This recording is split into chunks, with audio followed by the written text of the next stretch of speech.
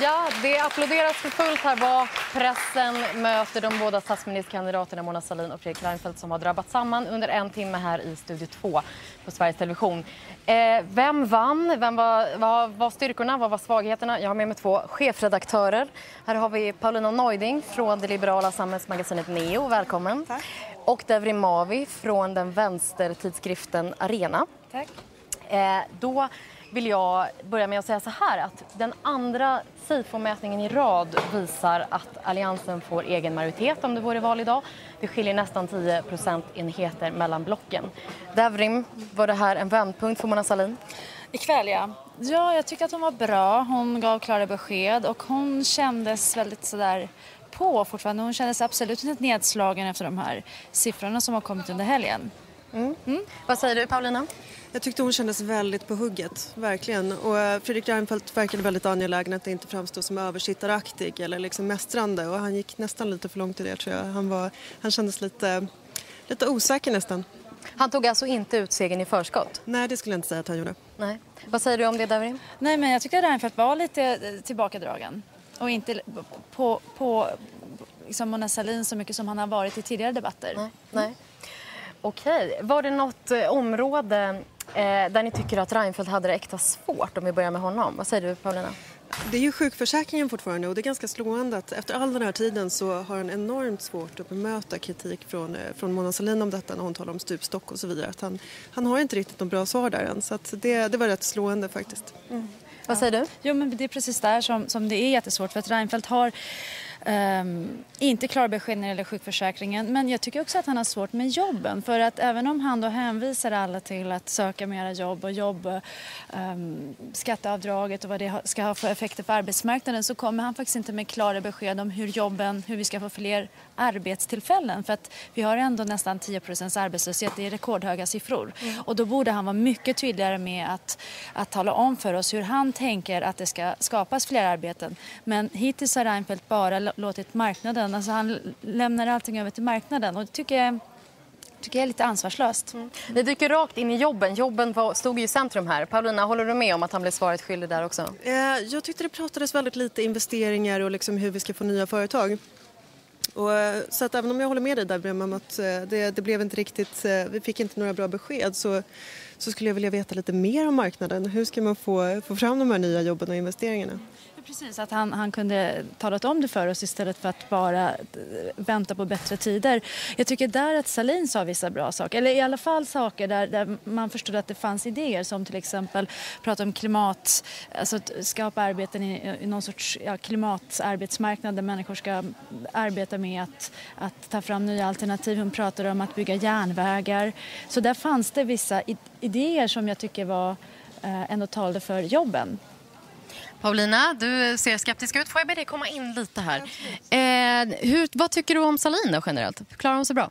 Eh, hon var på hugget och det märktes att hon inte lät sig nedslås av de här siffrorna. Och jag tror också om, om man ska vara generös mot Mona Sahlin så är det en sak som hon skulle vara som skulle vara hennes stora tillgång som, eh, som statsminister och det är just det att hon är enormt stryktålig och hon har en fantastisk vinnarskalle. Så att eh, hon gick ut i den här debatten med full energi verkligen.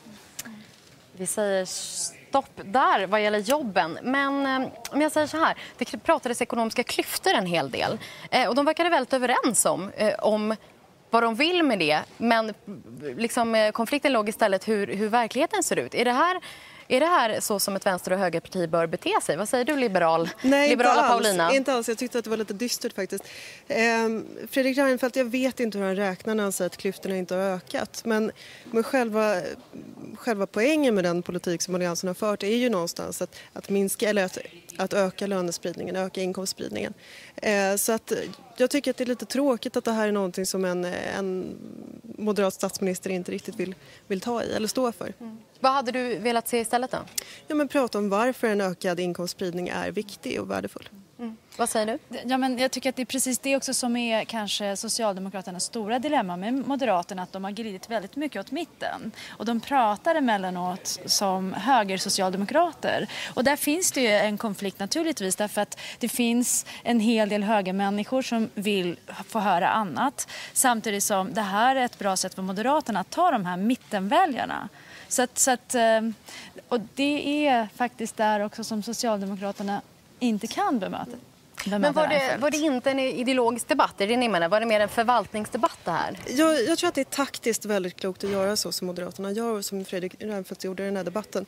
Men det är i längden, att, att inte ta strid för liberal ideologi på det här sättet tror jag är, är skadligt och problematiskt i längden.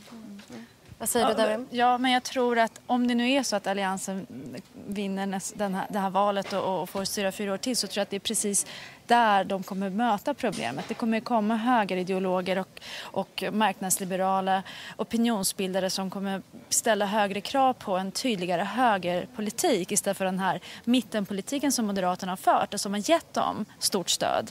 Men är det inte bara, nu kommer du från ett, ett, ett liksom vasst, smalt magasin. Är det inte bara du och dina liksom, tyckarvänner? Vad, vad vill väljarna? Vad vill moderatväljarna? Vill de, vill de, de inte ha? De vill inte bara eh, en sort. Det finns många olika sorters moderatväljare, precis som alla andra väljare. Jag tror att det finns moderatväljare som vill ha tydligare högerpolitik mm. där man, där man tydligare kritiserar välfärdssektorn, där man gör mycket radikalare skatte skattesänkningar till exempel. Så finns det ju moderater som röst, eller det finns människor som röstar Moderaterna för att de gillar de nya Moderaterna med deras nya retorik om att vi fortfarande ska kunna behålla välfärdsstaten samtidigt som vi också ska ha mera kvar i plånboken.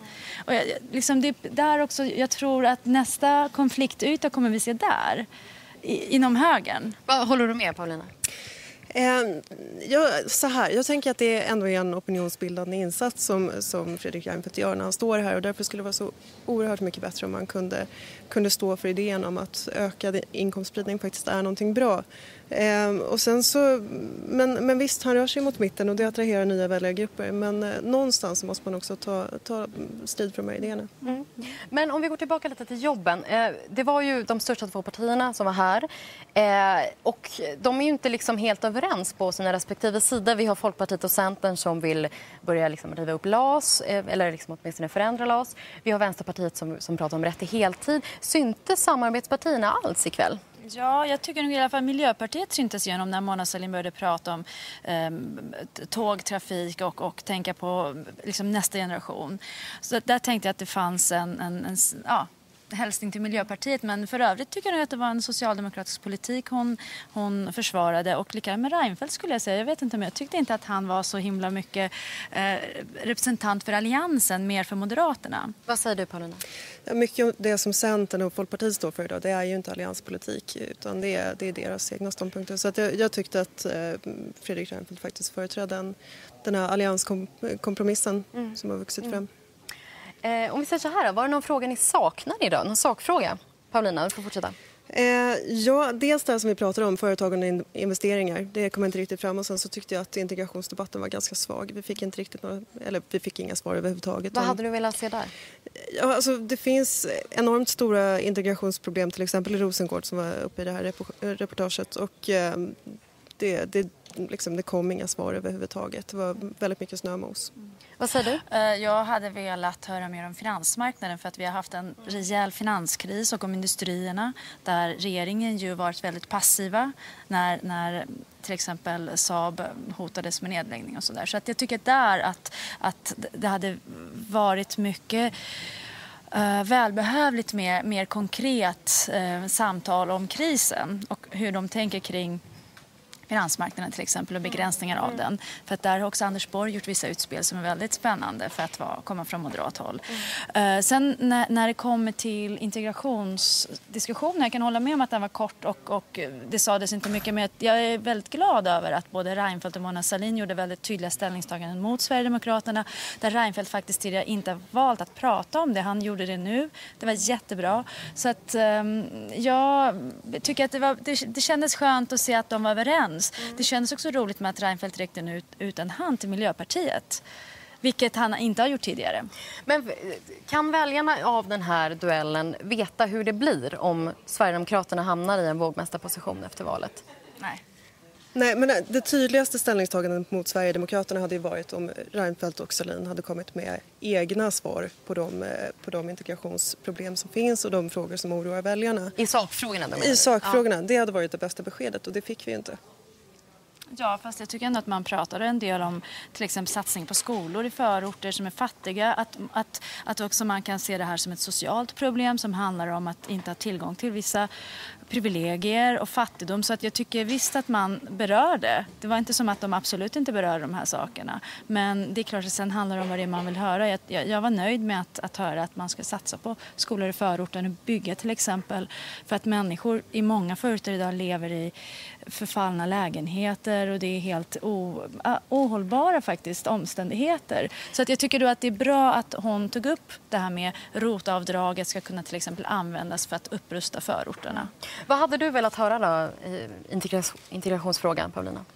Ja, det Devrin tar upp är ju rent eh, sociala och ekonomiska frågor. Det finns ju, det finns ju betydligt fler och, svårare frågor, eller svårare är de inte, men fler frågor. Till exempel? Eh, ja, men eh, till exempel eh, värderingar, eh, människor som kommer från eh, länder med, med en sämre kvinnosyn, sämre syn på homosexuella, hur det påverkar det svenska samhället och hur det försvårar integrationen. Det är hemskt svåra frågor och som är viktiga att ta i.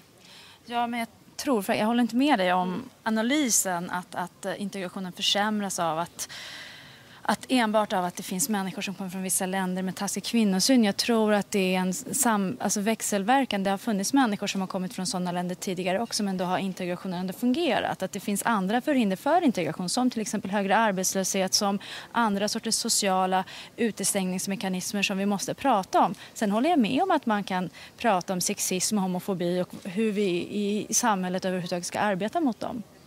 Jag får avbryta er där och fråga så här. Det är alltså val om sju dagar, eller sex dagar snart så öppnar vallokalerna. Eh, jag tänkte låta er skicka... Nu, nu har ni liksom tydligt sagt till mig innan att ni inte är några valarbetare för mm. Alliansen och oppositionen. Men jag ska ändå låta er göra så här. Paulina, om du vill skicka med en uppmaning till, för jag tror ändå att du vill ha en, en borgerlig valseger. Eh, och eh, skicka med en uppmaning till Reinfeldt. Vad ska han göra den här veckan? Eh, var väldigt tydlig kring liberala, grundläggande liberala värderingar. Visa att han står för dem, att han inte att han inte skäms för det, helt enkelt. Mm. Mm. Har du något exempel? På... Ja, det som vi pratade om tidigare med, med inkomstspridning till exempel. Mm. mm. mm. Och om du vill uppmana, eh, skicka en uppmaning till Mona Sahlin?